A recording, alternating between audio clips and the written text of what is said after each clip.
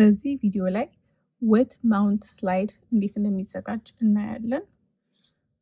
ለ wet mount የሚያስፈልጉን ነገሮች ውሃ፣ ጠብታ ማድረጊያ ወይንም dropper፣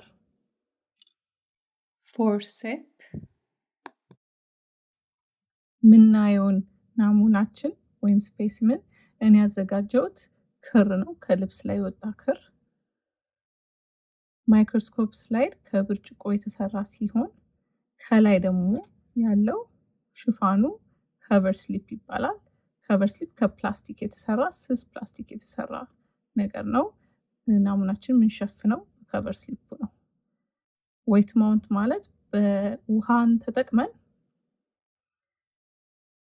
የምናየውን ናሙና ውሃ ውስጥ ከተን በ cover slip ሸፍነን ለማይክሮስኮፕ ወይም በተዋሃደ ማይክሮስኮፕ ለማየት ማዘጋጀት ማለት ነው።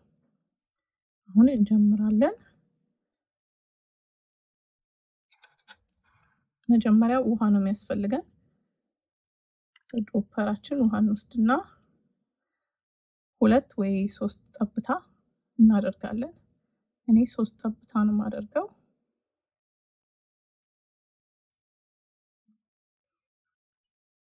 ከዛ ናሙናችንን እናዘጋጃለን።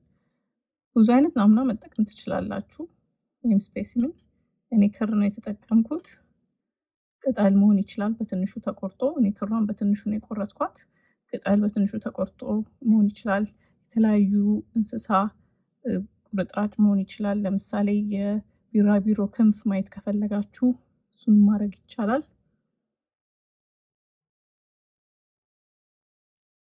መሀል ላይ ቁጭ አደረኩት። ከዛ cover slip ኡን እናደርግበታለን። cover slip ሁሌ ቀጥ ብሎ መጀመሪያ ቀጥ ብለን እንይዘዋለን። ዘጠና ዲግሪ ለውሃው ትንሽ ተንቀጠቀጠ። ከዛ ብዙ ጊዜ በእርሳስ ነው የሚመቸው ወይም በስክሪፕቶ ቀስ ብለን እናወርደዋለን። ቀስ ብለን ውሃውን ሙሉ ለሙሉ መሸፈን አለበት። እንደዚህ ያው ናሙናው ስላለ ሙሉ ለሙሉ ዝቅ አላለም። ሙሉ ለሙሉ ማይክሮስኮፕ ላይ አልተኛም cover slip ኡ።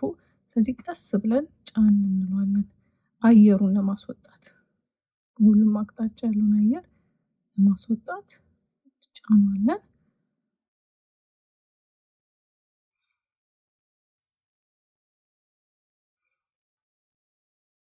ይህን ይመስላል ማለት ነው። ዌት ማውንት ለጊዜያዊ አንድን ነገር አንድ ናሙና ለጊዜያዊ ለማየት የምንጠቀመው መንገድ ነው።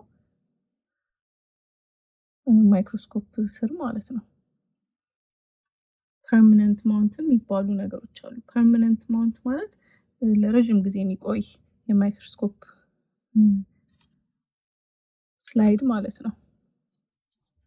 እዚህ ጋር የእጽዋት ህዋስ ወይንም plant cell የተዘጋጀ permanent slide ነው።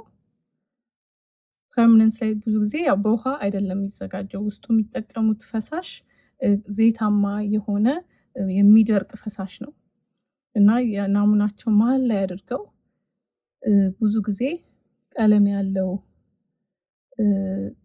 ወይም ቀለማት ይደረግበታል። ህዋሶቹ የሚፈለጉት ነገሮች በደንብ ጎልተው እንዲታዩ የሚረዱ የተለያዩ ቀለሞች አሉ። stains ነው የሚባሉት። stain ተጠቅመው ናሙናውን ያስቀምጡና ያንን ፈሳሽ ወደ ደረቅ ነገር የሚቀየረውን ፈሳሽ አድርገው ከላይ cover slip ኡን ያደርጉታል። በደንብ ከተዘጋጀ ይሄ ለብዙ አመታት የሚያገለግል ማይክሮስኮፕ slide ይሆናል። ለዛም ነው permanent slide የተባለው። permanent ማለት ለረጅም ጊዜ ማለት ነው። ስለዚህ እኛ ያዘጋጀነው wet mount slide ኣችን ለአጭር ጊዜ ወዲያውኑ በተዋሃደ ማይክሮስኮፕ ለማየት አንድን ናሙና አዘጋጅቶ ለማየት እንጠቀማለን በውሃ ከጨረስንም በኋላ ይጣላል።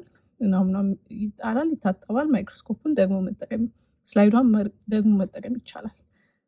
የ permanent slide ግን ለረዥም ጊዜ የሚቀመጥ ነው። ጥሩ ቦታ ላይ ተቀምጦ እስካልተበላሸ እስካልተሰነጠቀ ድረስ ለብዙ ዓመታት ማየት መጠቀም እንችላለን።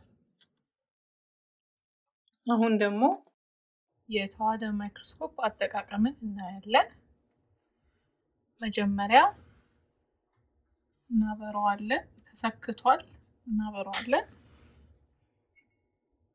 መብራቱ በርቷል። ቀጥታ አልፎ በ stage ኣችን ወደ objective ይመጣል። ከዚህ በፊትም እንደተነጋገርነው ሁሌ ማይክሮስኮፕ በሚቀመጥበት ጊዜ የዝቅተኛ ማጉያ ኃይል objective ላይ ነው መቀመጥ ያለበት። ቀዩ አራት ጊዜ የሚያጎላው ነው።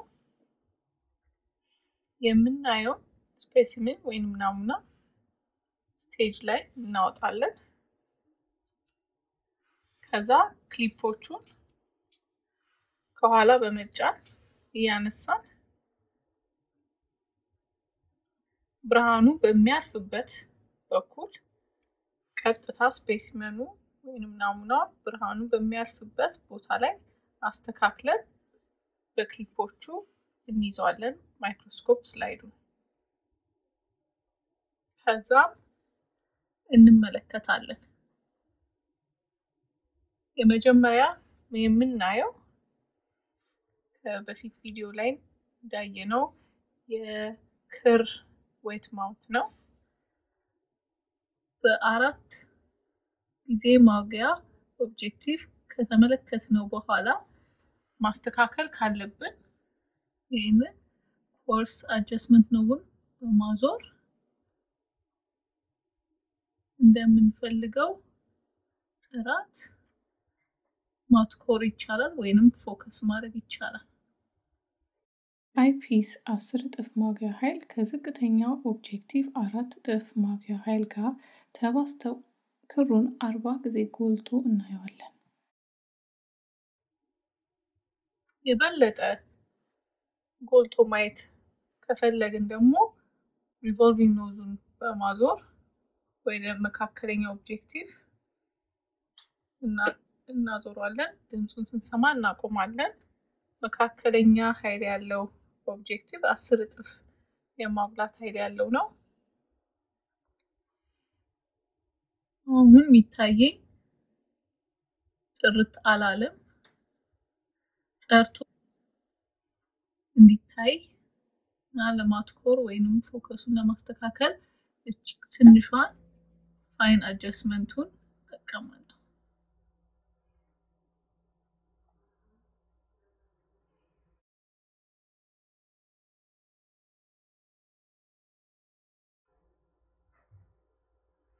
ከዛም የበለጠ ጎልቶ እንዲታይ ከፈለግን ደግሞ አሁንም revolving nose ኡን በማዞር ልክ ድምፅ ሲሰማ እናቆማለን።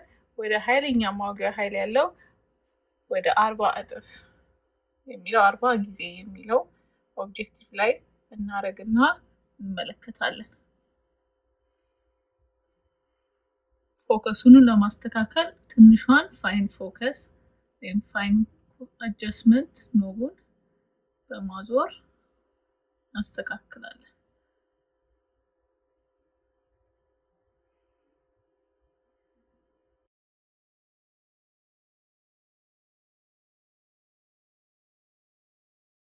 የ wet mount ክሩን አሁን አይተን ጨርሰናል።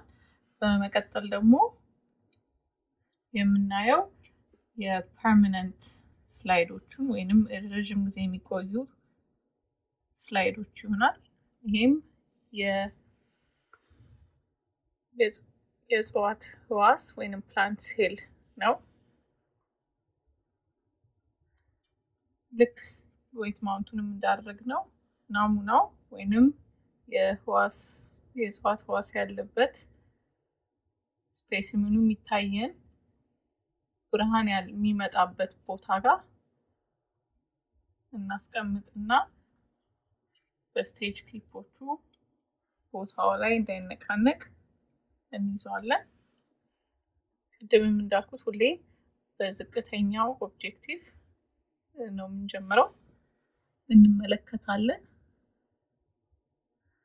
ማስተካከል ካለብን ትኩረቱን ማስተካከል ከፈለግን ኮርስ አጀስመንት ነው ስቴጁን ከፍና ዝቅ የሚያደርገውን ትልቁን እንጠቀምና እናዞራለን።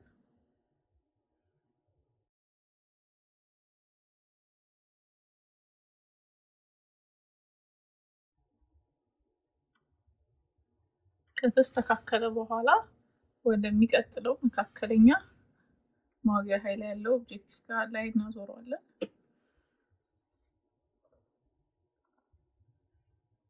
ከዛም ማትኮሩን የምናስተካክለው focus ኡ የምናስተካክለው በ fine adjustment ኡ ብቻ ነው። ትልቁን አንነካም፣ ምክንያቱም በጣም ቅርብ ስለሆኑ ትልቁን ብነካ ሊሰብርብን ይችላል slide ኣችንን።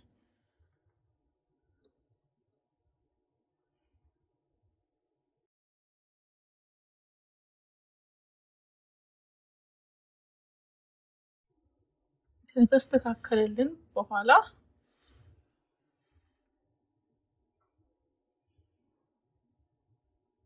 ወደ ትልቁ ማጉያ ኃይል አርባ ጊዜ ማጉያ ያለው objective ላይ እናደርጋለን። ለማስተካከልም ትኩረቱን ወይም focus ኡን fine adjustment knob ኡን ብቻ ነው የምንጠቀመው።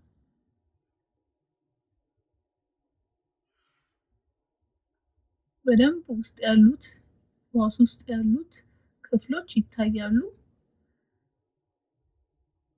ይሄ ማይክሮስኮፕ slide ሲዘጋጅ ቀለም ተጨምሮበት ነው የተዘጋጀው፣ ወይም stain ተደርጎ ነው የተዘጋጀው።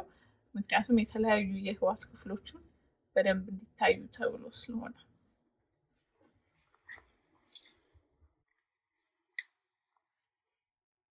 ሶስተኛ ናሙናችን ወይም specimen ኣችን የ Amphiuma liver ወይንም የ salamander ጉበት ህዋስ ይሆናል።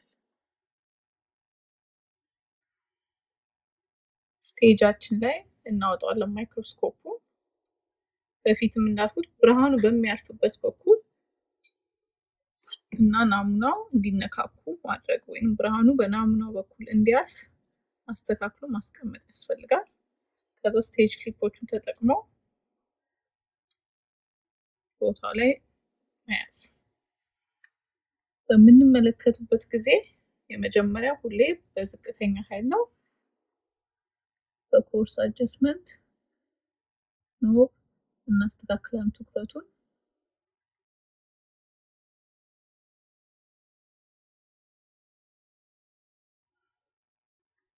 ከዛ የበለጠ አጉልተን ማየት ከፈለግን objective ወደ መካከለኛ objective እንቀይራለን። ከዛ በ fine adjustment እናስተካክላለን።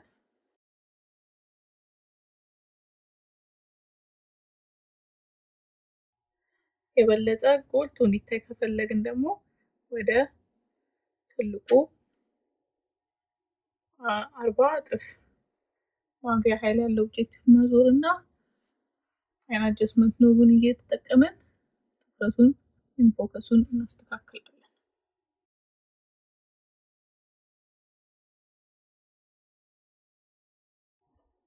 አይተን ከጨረስን በኋላ መጀመሪያ objective ን ወደ ቦታቸው መመለስ ነው።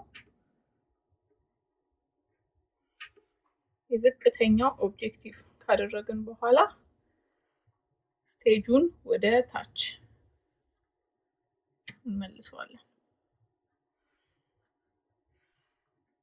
ከዛም ማይክሮስኮፕ slide ኣችንን አንስተን stage clip ኦቹን ወደ ቦታቸው እንመልሳለን። የብርሃን ምንጩንም እናጠፋለን። ሶኬታችን እንነቅላለን። ከዛም ወደ ቦታው እንመልሰዋለን። የተዋሃደ ማይክሮስኮፑን ስንመልሰውም አንድ እጃችን arm ኡን ይዛል፣ አንድ እጃችን base ኡ ስር ይሆንና እንደዚህ ይዘን ወደ ቦታው እንመልሳለን። የተዋሃደ ማይክሮስኮፕን አጠቃቀም ይህን ይመስላል። የማይክሮስኮፕ ዝግጅትም ይሄን የማይክሮስኮፕ ስላይድ ዝግጅትም ይሄንን ይመስላል።